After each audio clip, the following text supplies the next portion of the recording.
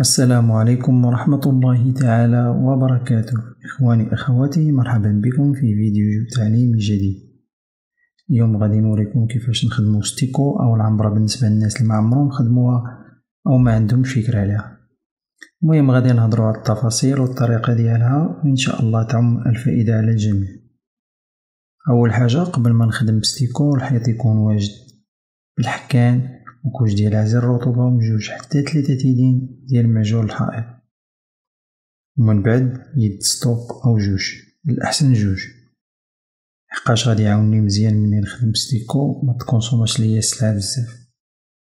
هذا من جهة الخدمة غتطلع مزيانة وبرية وحجاج من خدمت ستوب كامل في الأماكن اللي بغيت نخدم طبقت جوج يدين د stucco شارجيت الحيط مزيان. من غير رمج يعني من غير عروق. وما استيكيتش الحيط باش ما نعياش معاه في ال couche الأخر. دابا راني خدام في ال couche الثالثة ولكن كنشارجي وكنعاود باش يتشارج الحيط مزيان وطلع الخدمة نقية. استيكاج هو ملي كنحك موس تاع l'inox على الحيط. يعني العنبرة باش يطلع ليا البريو مزيان. أما المواس العاديين تاع l'enduit ما يخدموش ليا حيت كيطلقو الصداع. منين نبدا استيكاج؟ منعش الموس بزاف باش ما نجرحش الحيط ونكمل. في هاد الحالة أنا شارجيت stucco على مسافة صغيرة وستيكيت ولكن غادي نعاود نشارجي حيت بغيتكم تشوفو الفرق. مني كنعاود نشارجي. غادي تلاحظو الفرق مزيان. نستيكي بهاد الطريقة اللي تنستيكي بها انايا حاول الموس متبركش عليه بزاف تكون يدك حنينة معاه. وكما قلت لكم مرقدش الموس بزاف حيت غادي يجرح ليا العنبرة ديالي. ستيكي بهاد الطريقة من الفوق لتحت ولا جنب؟ كيما درتو راه غادي يقضي الغرض.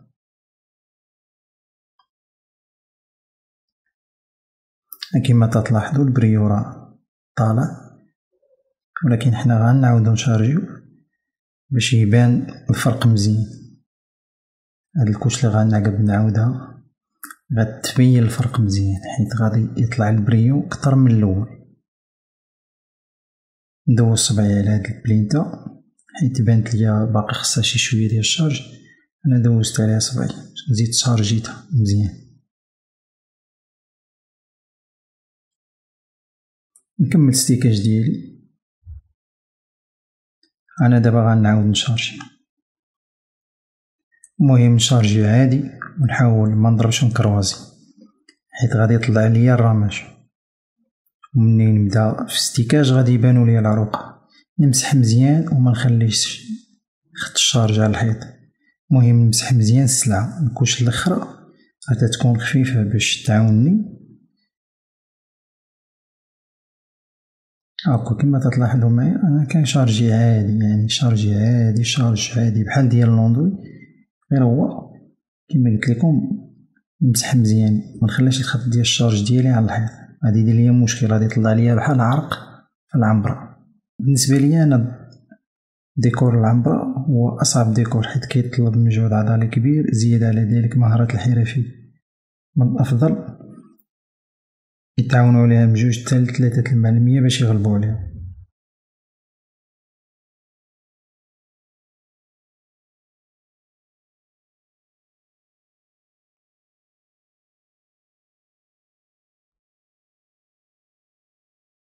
مني نكمل مساحة صغيرة نستيكيها مزيان. قد ما كان ستيكي قد ما كيطلع البريو مزيان.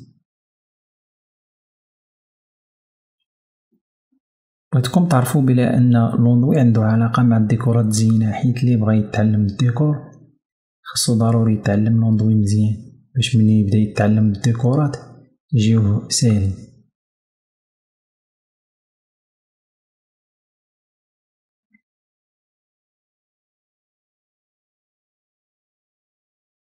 ستيكي مزيان. كيما درت ستيكاج في الأول نديرو في الثاني يعني بنفس الطريقة اللي بديت فيها في الأول. كمل بها. يعني يا إما جلد يا إما طول يا إما عرض. يعني الطريقة اللي درتي غادي يطلع البريو. كما قلت لكم ضروري فاش تبدأ الحكان يعني استيكاج ستيكي مزيان. إلا بغيتي البريو يطلع مزيان خصك ضروري تستيكي مزيان. كيما تلاحظوا راه البريو تبارك الله راه طالع مزيان. نستيكي أنا قد ما كان نستيكي مزيان قد ما تيطلع البريو. نحاول أنني نستيكي مزيان.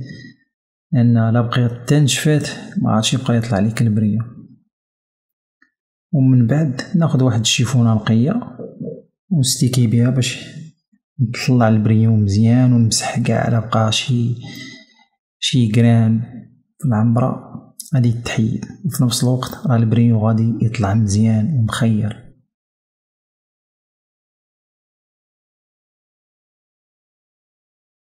البريو تبارك الله طالع مزيان.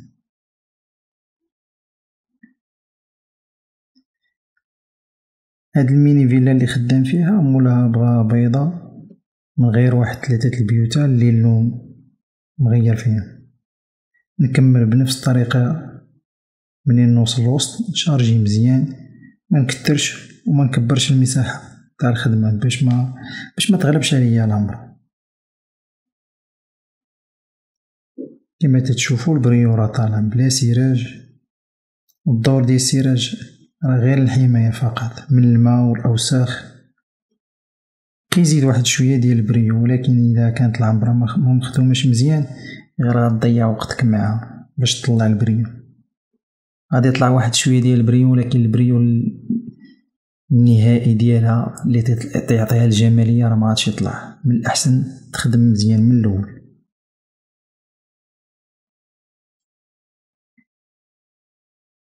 ملي كيدوز ليها السراج كتولي قابلة للغسل بالماء يمكن تمسح و تمسح إلا قطع عليها الوسخ يمكن تمسح عادي.